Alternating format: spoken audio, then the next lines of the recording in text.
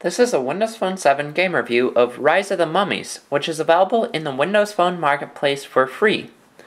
Now this game is pretty cool, but it could use some improvements. Nevertheless, it's worth checking out and trying. So the whole goal of the game here is to basically just survive as long as possible. And you have two joystick controls, one on the right and one on the left. You simply tap your finger anywhere on the left and right screen in order to enable the controls. And then you use them like a classic joystick controller. So you can move around the entire field there and attack all these mummies that come at you. And there's different weapon upgrades too that you'll collect over time. So there's a good variety there. Like the flames, those are really useful.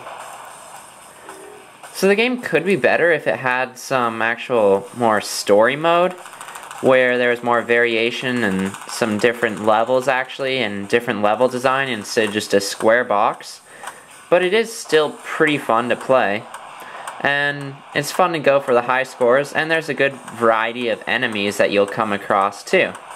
It's not all the same. And after a while the scenery in the background will actually change. The music that goes along the game is pretty good too, and there's an advertisement up there, but it's not that intrusive. And overall, the game is pretty neat. Like I said, it would be nice if the game had some actual different levels with different level design instead of just a big square box. But overall, the game is pretty fun, and after you get as high of a score as possible, you can submit your score in the online leaderboards which adds some extra enjoyment to the game.